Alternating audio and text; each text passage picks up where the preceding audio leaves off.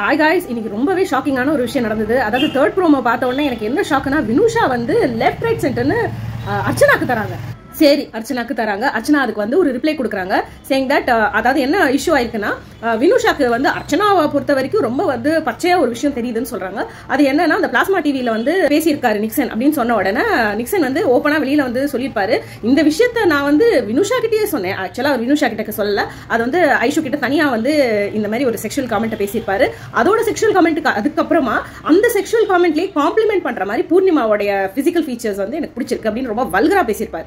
இந்த இந்த வல்கரா பேசினதை வந்து இவர் வந்து சாதிக்கிறாராமா நான் வந்து இதை வினுஷா கிட்டே பேசினேன்னு சொன்னதை வந்து. இது பல மாத பல வாரங்கள் வந்து போய் விஜய் வெளியில இருந்து வ- உள்ள வரும்போது தான் இதை நீ வந்து வினுஷா கிட்ட பேசல நீ தனியா வேற ஒரு ஆள் கிட்ட பேசிட்டு இருந்த அப்படின்னு சொன்னப்புறம் தான் இந்த பையன் கையும் களவுமா மாட்டிக்கிட்டு பயங்கர அளவுல வெக்ஸ் ஆயிடும் ஆனா அந்த எல்இடியில வந்தபோதே அந்த பையனுக்கு ஓரளவுக்கு வெக்ஸ் ஆயிட்டான். ஏன்னா வெளியில சொல்லல இதை வினுஷா பத்தி வந்து ஐஷு கிட்ட சொன்னாங்கன்னு வெளியில சொல்லல யார்கிட்டயுமே.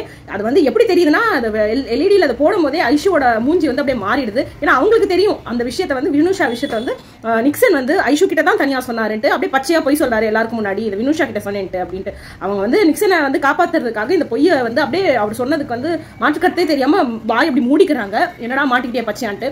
அதை ஓப்பனா லெஃப்ட் ரைட் சென்டரா வந்து அந்த டைம்ல கேட்டது வந்து மூணு பேர். அதுல வந்து பாத்தீங்கன்னா அந்த டைம்ல ஸ்மால் பாஸ் ஹவுஸ்ல இருந்த அர்ச்சனா தினேஷ் அதுக்கப்புறம் விசித்ரா இது கேட்ட உடனே என்ன சொல்லிடுறாரு நான் கவுண்டர் அட்டாக் போட்டு இவங்க வாயை வந்து மூடி இருப்பாரு எப்படின்னா இதை நான் வினுஷா கிட்டே சொல்லிட்டேன். அப்படின்னு சொன்ன இவங்க மூணு பேரும் ஷாக் ஆயிட்டாங்க ஏன்னா வினுஷா கிட்டே சொல்லிருப்பார் போல இருக்கு. அதான் சாரி கேட்டேன் கூட சொல்லிட்டேன் அப்படின்னு சொல்றாரு.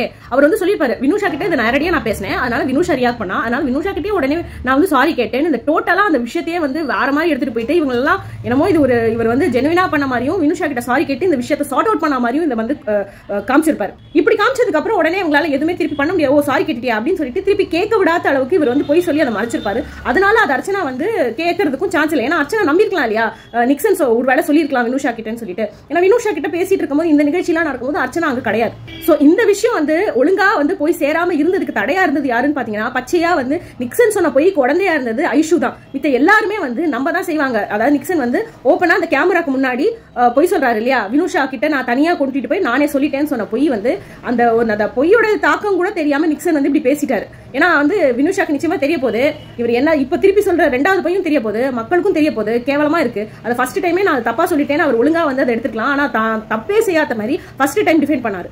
அந்த டிஃபெண்ட் பண்ணிட்டுமே அவர் ஒரு மாதிரி கை உதறி கால் உதறி வந்து உடனே வந்து அப்பெல்லாம் கூட விசித்ரா மேமோட ரொம்ப ஃப்ரெண்ட் ஆகல அந்த டைம்ல நிக்சன். ஆனா அந்த டைம்ல நிக்சன் வந்து அர்ச்சனா கிட்ட ஃப்ரெண்டா இருந்தனால அர்ச்சனா தான் கேள்வி கேட்டாங்க. ஏன் அப்படி நிக்சன் பேசுற? அப்படின்னு கேட்டனால தான் இந்த வினுஷா சொல்றாங்கல்ல இப்ப வந்து லைவ்ல சொல்றாங்க. அதாவது நீங்க கேட்கவே இல்லை. எனக்காக நீங்க ஸ்டாண்டப்பே பண்ணலன்னு சொன்னதெல்லாம் வினுஷா வந்து ஒழுங்கா வந்து அதை பார்க்காம இருந்ததுதான் காரணம். ஏன்னா நீங்களே நல்லா யோசிச்சு பாருங்க நிக்சன் எதுக்கு அந்த பிளாஸ்மா டிவியில பேசின உடனே பதறி போய் அர்ச்சனா கிட்ட ஓடணும். ஏன்னா அர்ச்சனா தான் அந்த அளவுக்கு கேள்வி கேட்டாங்க நிக்சனை இப்படி எல்லாம் இதெல்லாம் சரியா அப்படின்னு கேட்டனாலதான் அந்த பதபதப்பை வந்து நிக்சன் திருப்பி அர்ச்சனா கிட்ட போயிட்டு ஐயோ நீங்க சொல்றது கரெக்ட் தான் நான் தப்பு பண்ணிட்டேனான்னு சொல்லிட்டு அவர் கேட்டிருப்பார். இல்லாட்டி எப்படி வாட் இஸ் ரீசன் அவர் வந்து அர்ச்சனா கிட்ட பேசுறதுக்கு ஒரு ரீசன் இருந்திருக்கணும்ல அந்த பிளாஸ்மா டிவி போன உடனே. அவர் வந்து தன் பாயிண்ட் வந்து ப்ரூவ் பண்ணிட்டேன் அப்படின்னு சொல்லிட்டு அவர் வந்து சொன்னார். இந்த ரெண்டாவது பொய்யை வந்து அப்படியே சமாளிச்சுட்டு இருந்திருக்கலாம்ல. அப்பவும் விடல அர்ச்சனா அதுதான் அங்க விஷயம் நடந்தது. அது வந்து இவங்களுக்கு போய் ரெஜிஸ்டர் ஆச்சா? வினுஷாக்கு ஒழுங்கா போய் ரெஜிஸ்டர் ஆச்சான்னு சத்தியமா தெரியல. இல்லாட்டி வேற விதத்துல வினுஷா வந்து அர்ச்சனா கிட்ட சில கேள்விகள் கேட்கணும்னே தவறாக சித்தரிக்கப்பட்டு சில விஷயங்களை வந்து சில இன்ஃபர்மேஷனை வந்து பாதி உண்மைகளை சொல்லி வினுஷாவை வந்து யாரோ வந்து கன்வின்ஸ் பண்ண மாதிரி தான் இருக்கு.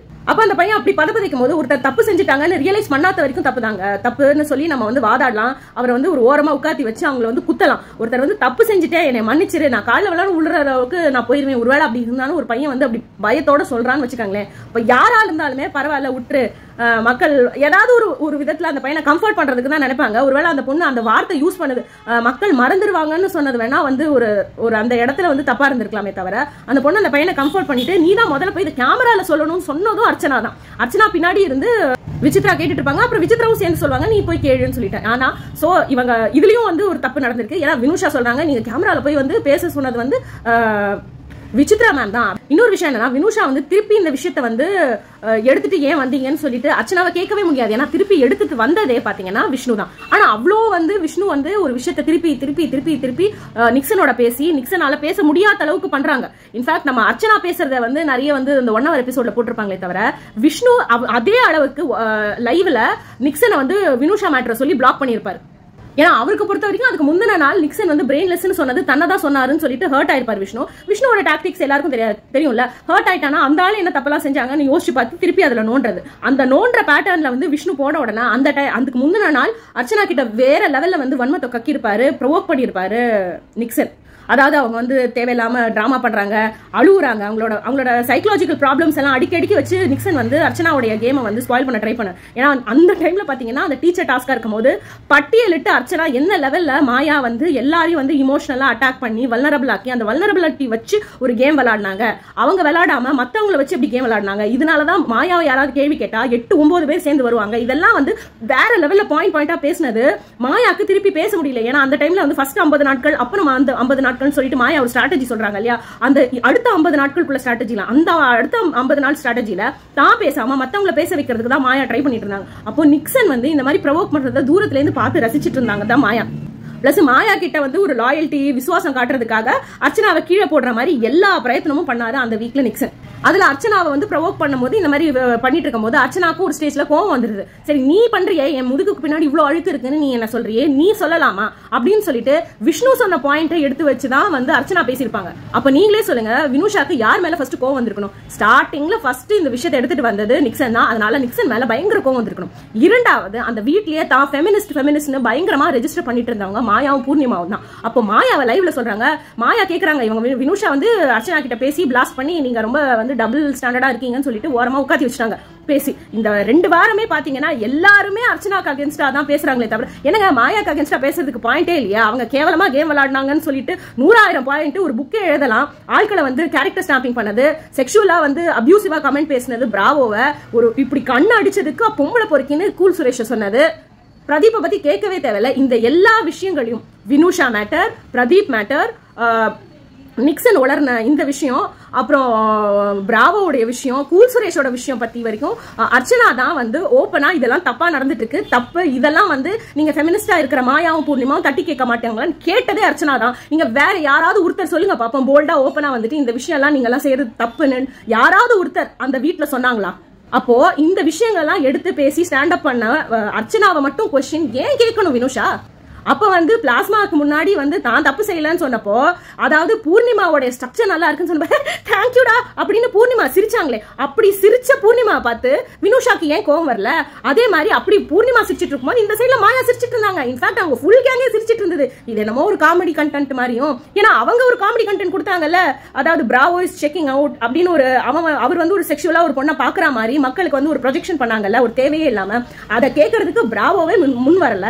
ஏதோ ஒரு கோழைத்தனமாக இருக்கட்டும் இல்லாட்டி ஒரு மே ஒரு மேனா இருந்துட்டு நம்ம ஒரு பொண்ணை வந்து இப்படி அசிங்கமா திருப்பி கேள்வி கேட்டானா அவங்களோட கேரக்டர் போயிடுமோன்னு நினைச்சிட்டு அவர் கேட்டாரா இருக்கட்டும். கம் வாட் மேங்க ஒரு பொண்ணோ பையனோ தன்னை வந்து யாரா இருந்தாலுமே ஒருத்தர் வந்து இந்த மாதிரி செக்ஷுவலா கேவலமா பேசக்கூடாது. அப்போ பிராவோவே பேசாம இருந்தப்போ பிராவோக்காக பேசினது யாரு? அர்ச்சனா தான் அங்க.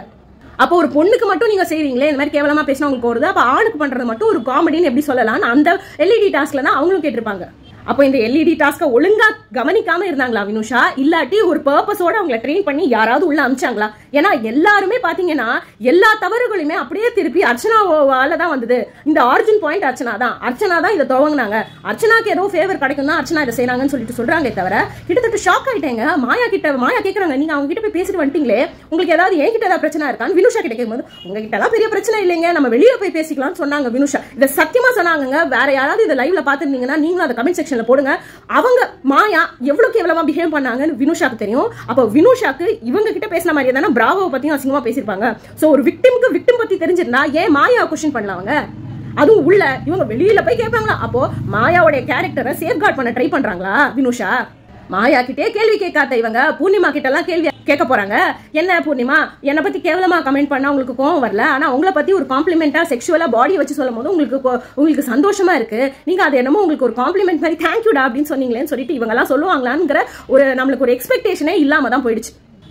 ஸ்டார்டிங்ல தான் பார்த்தோம் தினேஷ் விஷ்ணு அப்புறம் மணி. மூணு பேரும் உட்காந்து எந்தெந்த இடத்துலலாம் வ- வந்து அர்ச்சனா கேவலமாக செஞ்சுருக்காங்கன்னு யோசிச்சு வச்சு பாயிண்ட்ஸ் எல்லாம் பேச ஆரம்பிக்கிறாங்களே தவிர இவங்கெல்லாம் தன்னுடைய பாயிண்ட்ஸ் எல்லாம் எப்படி பேசினாங்க? என்ன மாதிரி நல்ல கேம்லாம் விளையாடினாங்கன்னு எந்த அளவுலையும் ப்ரூவ் பண்ண ட்ரை பண்ணலையே? அப்போ மொத்தத்தில் யாருக்குமே அர்ச்சனா வின் பண்ணக்கூடாதுன்னு தான் தோணிருக்கே தவிர தான் வின் பண்ணணுங்கிற தோணல் கூட இல்லாமல் தான் இருக்காங்க. இப்போ உள்ளே இருக்கிற ஃபைனலிஸ்ட் கண்டஸ்டன்ஸுக்கே இதுதான் நிலமைனா வெளியில் போயிட்டு புள்ளி கேங்லாம் ஒன்றா சேர்ந்து என்னெல்லாம் பிளான் பண்ணாங்க? என்ன அளவில் திருப்பி அர்ச்சனாவை ரீ அட்டாக் பண்ணுவாங்கன்னு நம்மளுக்கு தோன்றதை விட என்னத்த சொல்றது? இந்த விஷயத்தை பொறுத்த வரைக்கும் உங்களோட கமெண்ட்ஸ் என்னங்கிறத நீங்க நிச்சயமா என்னோட இங்க கமெண்ட் செக்ஷன்ல பதிவிடுங்க. சோ மொத்தத்துல கண்டஸ்டன்ட் சார்பாகவும் விஜய் டிவி சார்பாகவும் அதாவது விஜய் டிவி வைக்கிற டாஸ்க் எல்லாம் நம்ம பார்த்துட்டு தான் வரோம். இது எல்லாம் எதை வந்து குறிக்குதுன்னா அர்ச்சனா எவ்வளவு கேவலமா கேம் விளையாட வராங்க அதை நம்ம எக்ஸ்போஸ் பண்ணுவோம். அப்படின்னு சொல்லிட்டு வர மாதிரி தான் இருக்கே தவிர விஷ்ணு விஷ்ணுவை எப்படி எக்ஸ்போஸ் பண்ணுவோம்? இல்லாட்டி மாயாவை எப்படி எக்ஸ்போஸ் பண்ணுவோம்? அப்படின்னு சொல்லிட்டுலாம் கேமே இல்லைங்க.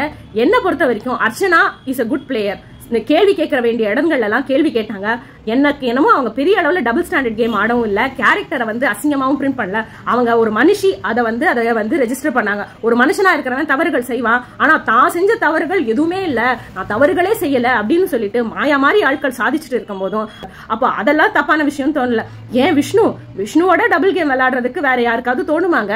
அவர் மட்டும் வந்து பூர்ணிமாவும் மாயாவும் அவர் வீக் காப்பாத்தி கேப்டன் ஆக்கலனா அந்த வாரமே அவர் வெளியில கிளம்பி இருக்கணும் அவர் உள்ள இருந்ததுக்கு காரணமே பூர்ணியமாவும் மாயா தான். அதனாலதான் அவங்க அந்த அளவுக்கு காண்டாவுறாங்களே தவிர இதெல்லாம் வந்து வெளியில அளவுக்கு வெளியில வர அளவுக்கு யாருமே பேச மாட்டாங்கங்க. ஏன்னா ஒட்டு மொத்தமா ஒரு ஃபோர்ஸ் இருக்கு. அந்த ஃபோர்ஸ் ஃபுல்லா அர்ச்சனா இவ்வளவு கேவலமா கேம் விளையாடுறாங்கன்னு மட்டும் ரெஜிஸ்டர் பண்ணிக்கிட்டே இருக்குங்க.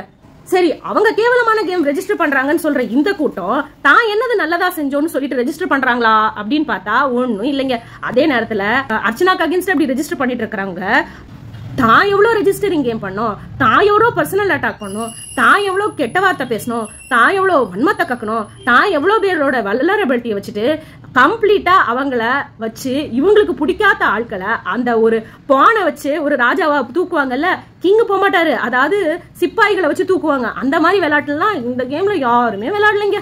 அப்படின்னு யோசிச்சுக்கிட்டு நம்ம இந்த கேமை பார்க்கணுமா வேண்டாமாங்கிற ஃபீலிங்லேயே இவ்வளோ நாள் பார்த்துட்டோம். இவ்வளோ டைம் இன்வெஸ்ட் ஆயிடுச்சு. நம்மளுக்கு என்னதான் டிசப்பாயின்மெண்ட் வந்தாலும் இதை பார்க்காமயும் இருக்க முடியல. பார்க்கணும்னு தோணுது அப்படின்னு இருக்கிற இந்த பயங்கர ஃப்ரஸ்ட்ரேட்டட் ஃபீலிங்கில் ஒரு கேம் ஷோவை நம்ம எல்லாரும் இப்போ பார்க்குறோன்னா இது ஒரு வரலாறு படிக்கிற கேம் ஷோன்னு தான் அங்கே சொல்லணுங்க. அதாவது பேசவும் முடியல பேசாமலையும் இருக்க முடியலங்கிற பாயிண்ட்ல தான் நம்ம வந்து இப்போ சேர்ந்துட்டோம்.